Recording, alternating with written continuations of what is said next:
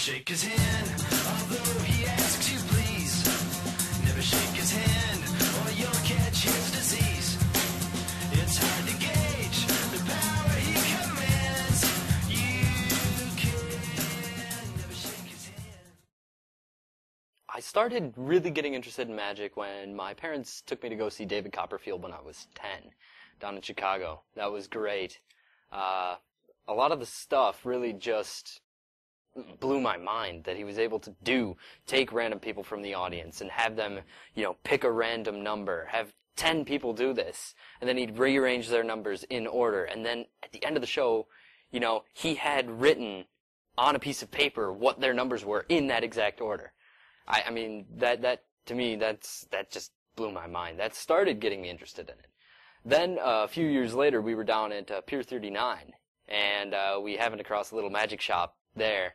And my dad and I kind of went a little bit nuts, and uh, we had a great time there. And my dad and my mom have both really, really kind of helped me fuel my interest in the subject. My favorite to watch would have to be The Street Magic by David Blaine.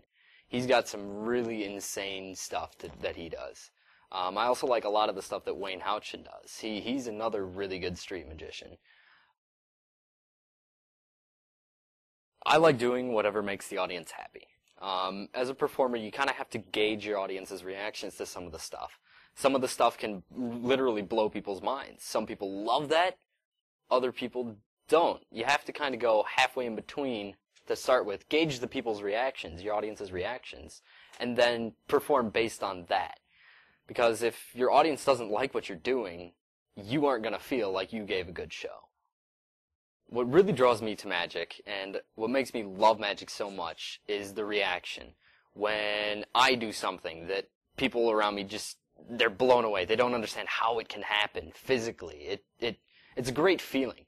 And as a spectator, having that done to you, I mean that's the best thing in the world that could happen for a magician because that means that we did our job the right way.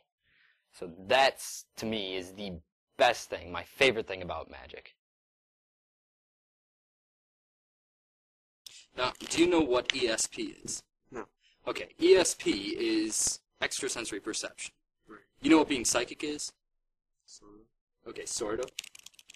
Well, we're gonna run our own little experiment in psychokinesis here.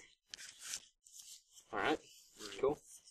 Now, we, what I want you to do is I'm gonna call off some random cards. And I want you to just hover your hand over the cards, and when you think that a card is what it is, just point to it, I'll take it off to the side. We'll see how you're doing, alright? So, um, find the Queen of Diamonds. This one? Right here. This one. Right here. Not bad, not bad. Um, about the Five of Spades? This one, right here.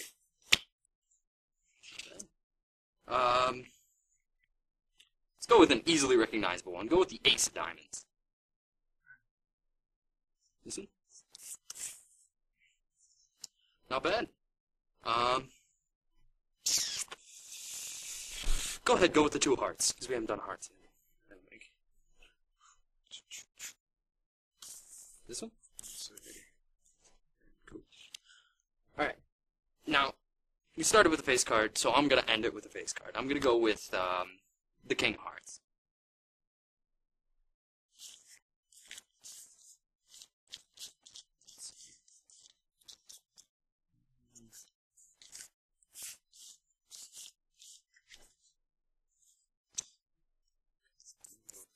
Now, Martine, you remember the cards, right? Sort of. Sort of. What were they? Uh, two of hearts. Wait, wait, wait. In order. In order. I don't remember. Alright, well, I'll tell you what they are. You found the Queen of Diamonds, the Five of Spades, the Ace of Diamonds, the Two of Hearts, and